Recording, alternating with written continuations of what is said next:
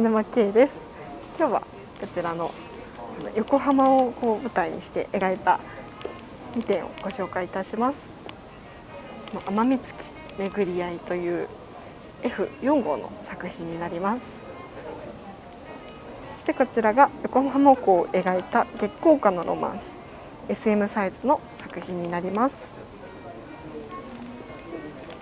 こちら2点は横浜で展覧会した時に同時にあの取材を行ってそこからこう描いた作品になります。こちらの方がこう「う」ものみのこう輝きになってましてこちらがこう最近使っておりますあのチタンの輝きになっております。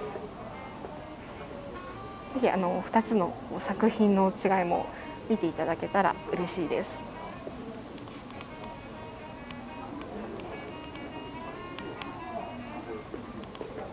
ちらの2点のお問い合わせは概要欄に入っておりますのでぜひチェックしてみてください。ありがとうございました。